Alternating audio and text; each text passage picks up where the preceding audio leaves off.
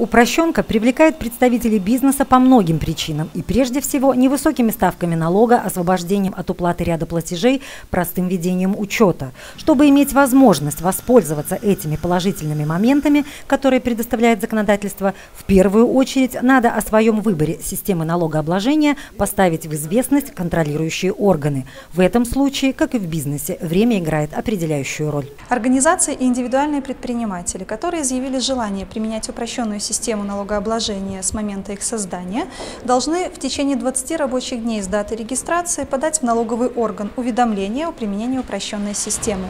В этом уведомлении организациям следует отразить численность работников, так как применять упрощенную систему вправе только организации, у которых численность работников составляет не более 100 человек. Представители большого и малого предпринимательства, уже действующие и выбравшие изначально другие системы налогообложения, могут перейти на упрощенку. Чтобы в 2014 году оценить ее плюсы, они должны с 1 октября по 31 декабря 2013 представить в налоговый орган по месту постановки на учет уведомление о переходе на упрощенную систему налогообложения. Однако процедура перехода будет запущена только при условии, что юрлицо соответствует определенным требованиям требованиям законодательства. Здесь важно отметить, что с 2014 года смогут перейти на применение упрощенной системы налогообложения только лишь организации со средней численностью работников не более 100 человек, ну и организации индивидуальные предприниматели, валовая выручка которых за 9 месяцев 2013 года не превышает 9 миллиардов рублей.